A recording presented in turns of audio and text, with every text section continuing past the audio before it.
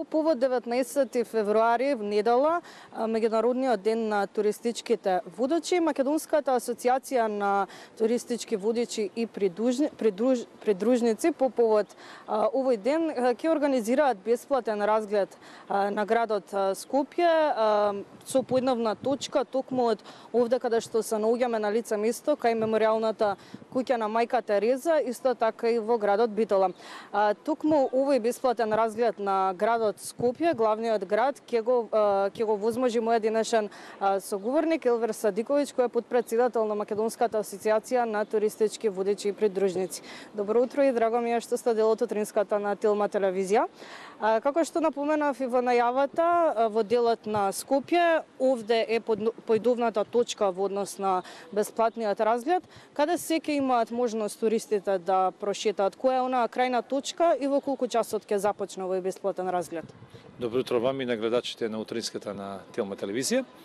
Како што кажавте, по повод светскиот ден на туристичките водичи, кој што е 21 февруари, нашата асоциација, Македонската асоциација на туристички водичи и придружници на ден 19 февруари, значи недела, со почеток во 12, 13 и 14 часот, значи збориме за Скопје, како и што кажавте, појдомна точка од ова место, значи од мемориалната куќа на Мајка Тереза, ќе организира бесплатен разлет на градот Скопје за нашите сограѓани, односно за граѓаните на градот Скопје.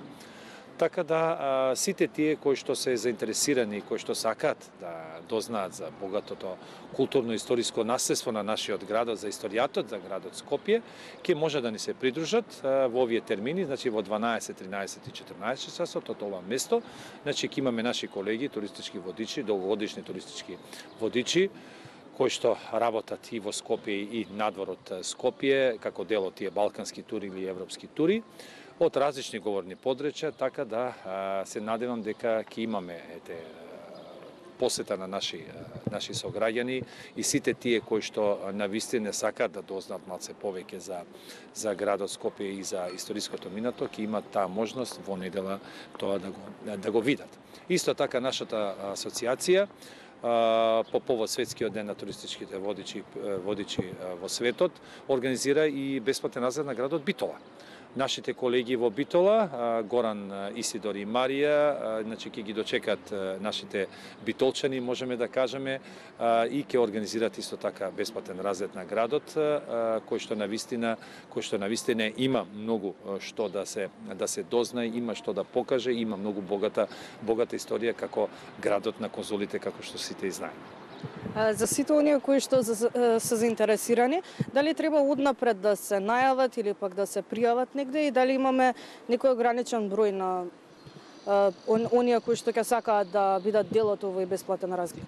Не, немаме ограничување, значи нема потребни најавување воопшто, значи доволно е само нашите значи сограѓани и сите тие кои што се заинтересирани, значи во овие термини, во 12, 13 и 14 часот, значи од тука од мемориалната куќа на Мајка Тереза кој се наоѓа на улица Македонија, да дојдат и да бидат дел од разредот. Разредот ќе почне од тука, значи ќе се упатиме кон плоштадот Македонија, каде што нашите моите колеги ќе објаснат за културно-историските споменици, значи и за за нивното значење.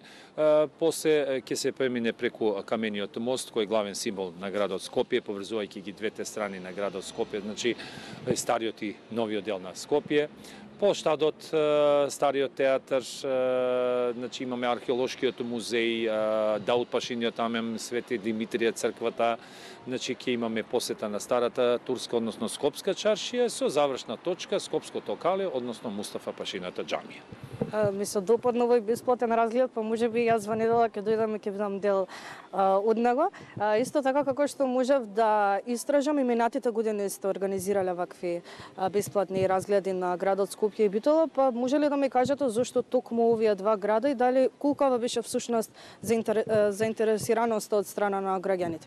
Видете, традиционално веќе значи ние понатаму ќе продолжиме и следните години. Македонската асоциација на туристички водичи и придружници, која што е една асоциација во кој членуваат значи професионални туристички водичи со долгогодишно работно искуство, дојдовме до идеја бидејќи земајќи во предвид дека нашиот град, а и нашата држава има богато културно-историско минато, свесни сме за тоа дека поголемиот дел од нашите, можеме да кажеме, граѓани кои што живеат на на ова територија немат можеби големи познавања за културното историското минато на нашата држава и на нашиот град. Од тие причини решивме да организираме овие бесплатни разгледи. Значи ова е втора година поред како што организираме, ние и понатаму ќе организираме. Само да додадам доколку ми дозволите, во Битола значи разгледот ќе почне во 12 часот, така да сите битолчани кои што се заинтересирани ќе можат на тие поидомни точки во градот Битола да учествуваат во тој бесплатен разред на градот Скопје. Инаку Македонската асоциација не само ова година, туку и понатаму ќе продолжи со со организирање на овие бесплатни разреди, бидејќи сметаме дека градот, а и нашите сограѓани требаат и а, мислиме дека а, сите заедно би требале да знаат малце повеќе за богатата богатата историја на нашиот град а, и се надеваме дека ќе има позитивен ефект.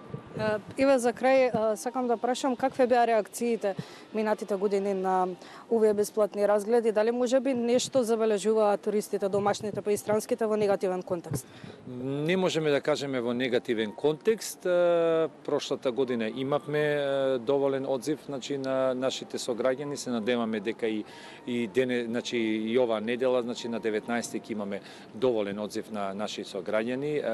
Водушевени се, бидејќи поголемиот дел не знаат за историјата на градот Скопје. Еве јас ке спомнам еден лик кој што на вистина игра голема улога за историјата на градот Скопје. Тоа е Јосиф Михајлович, познатиот градоначалник кој што два мандата свој во водење на градот Скопје, значи ја има направено фактички он ја има направена ренесансата. Скопје Скопје како градот доживува ренесанса.